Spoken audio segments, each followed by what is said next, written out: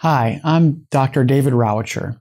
I'm one of the Legacy Heart Center cardiologists, and I'm also the director of the Congestive Heart Failure Center at the Center for Advanced Cardiovascular Care at the Heart Hospital Baylor Plano. And I want to take a few minutes to talk about congestive heart failure. Congestive heart failure is a constellation of symptoms. It's not a one single diagnosis.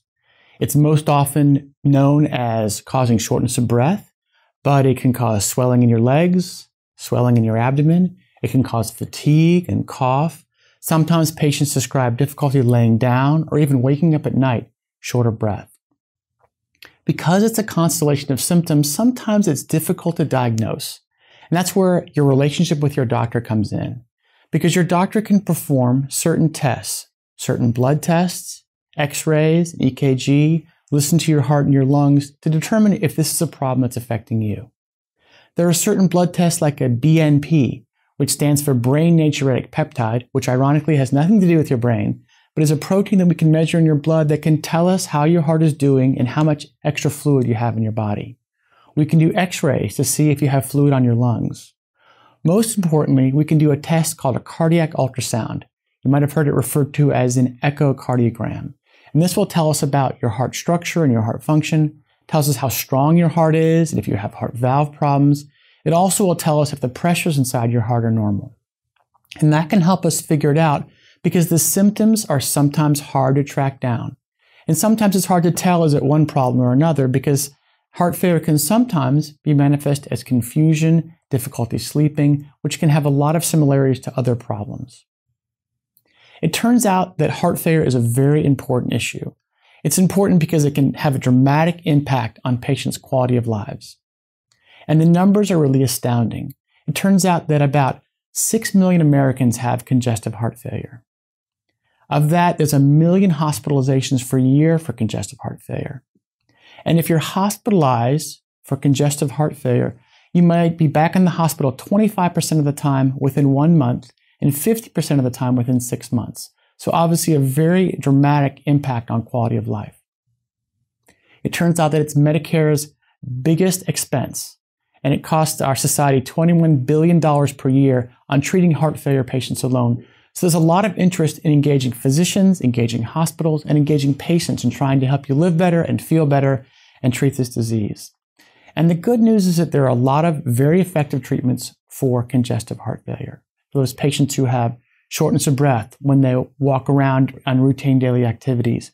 For people who have minor shortness of breath, all the way to those extremes of shortness of breath, where someone has um, shortness of breath when they take a shower, when they get dressed, when they go to walk around a grocery store.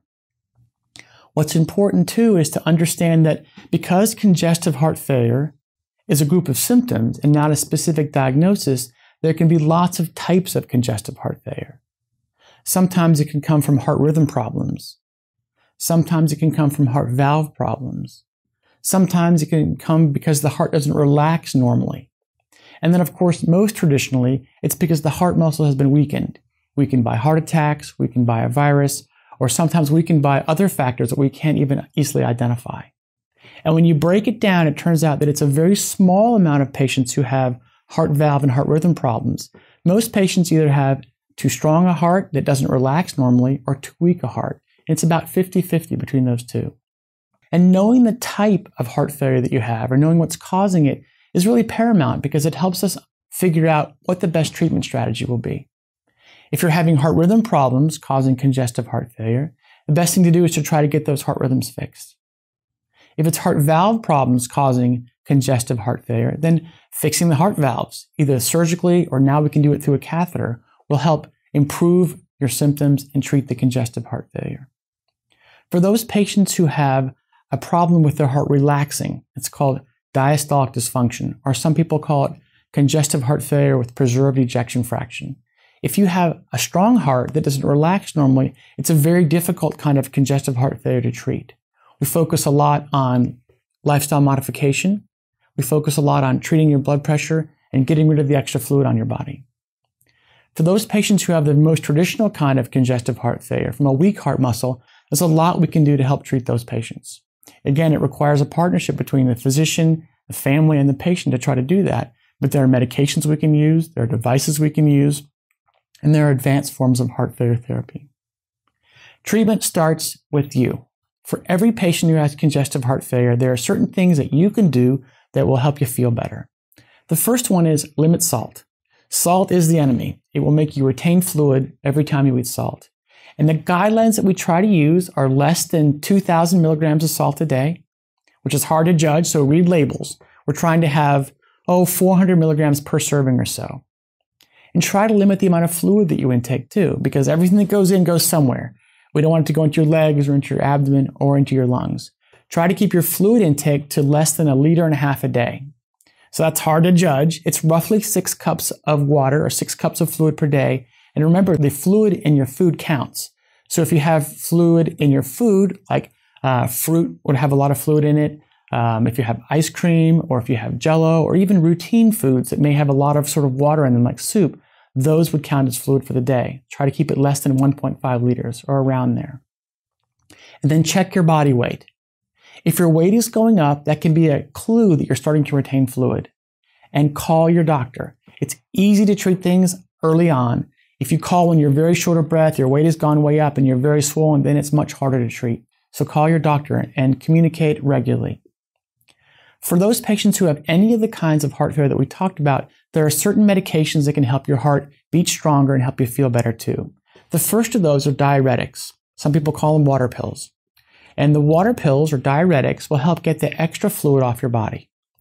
Oftentimes, we'll prescribe a certain amount to take every day, and that'll be sort of the baseline amount that you're taking. But if your weight goes up, if you feel more short of breath, if you become swollen, you may end up taking extra doses at times. Call your doctor and have a plan. But over time, patients get good at this. They become experts about themselves. We'll be the experts about heart failure, and you'll know yourself like no one else.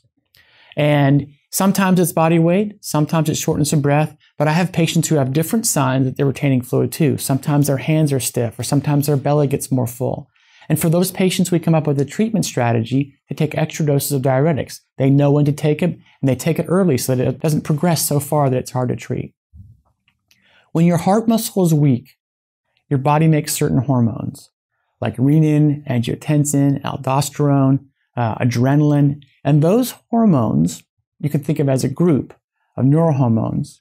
Those hormones initially help the heart beat a little stronger, and they make your blood vessels constrict raise your blood pressure. So for a little while, that can help you feel compensated. But over time, those very high levels of hormones are hard on the heart. It's kind of over revving the engine. They're hard on the heart. They don't allow it to get stronger and they don't allow it to heal.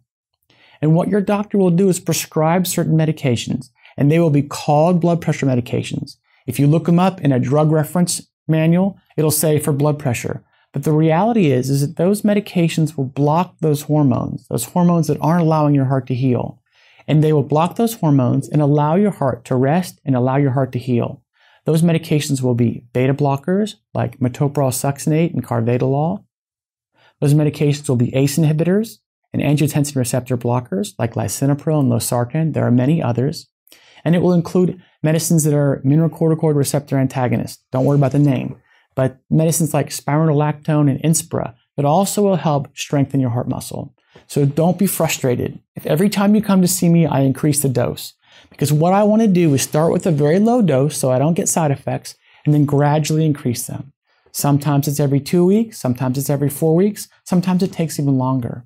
But it works. And if we do it slow enough, people generally will feel better over time. Uh, and you can expect to have medication changes. And you can expect to have these medications increase gradually.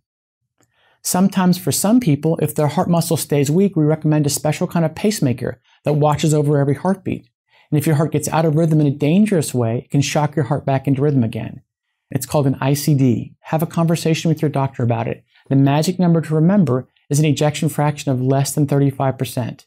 If the heart squeezes out 35% of the blood in it with each heartbeat or less, then that would be an indicator that you could be a candidate for one of these special pacemakers that would watch over every heartbeat. If your heart is beating in a way that isn't very well synchronized, sometimes we can have those pacemakers also help resynchronize your heartbeats, and that can help the heartbeat stronger too. For patients who don't respond to those things, there are even more advanced heart failure therapies that we take care of in our clinic. I think the most important things that I would leave you with are know your disease, Why, why do you have congestive heart failure? Is your heart weak? Is your heart strong? Do you have heart valve problems? Do you have heart rhythm problems? Know your medications, keep an active list, and be part of the treatment plan so that you know what you're taking and you can expect medication changes on a regular basis. Limit salt and fluid and monitor your weights at home and follow a healthy diet. And probably most importantly, call your doctor if you're having symptoms. It's much easier to treat them when they start than when they've progressed to a far endpoint. So thank you very much. We have a lot of patients just like you in our clinic.